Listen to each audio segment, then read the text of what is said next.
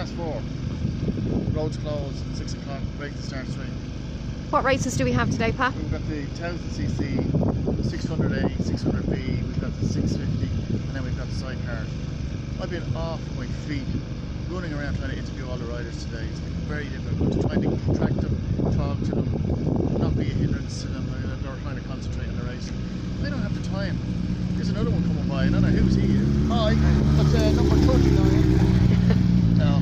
He wants an interview as well, does he? He did ask for an interview. but We're going to try and get him in tomorrow. Sorry, is my glasses still on? So I just want to say to everybody out there in Scaries, um, Stay tuned. Stay tuned because we are going to get to these riders. We're going to get to Dino again. We're going to get to Michael.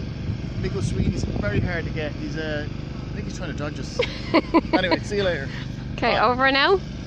Thank you, Patrick.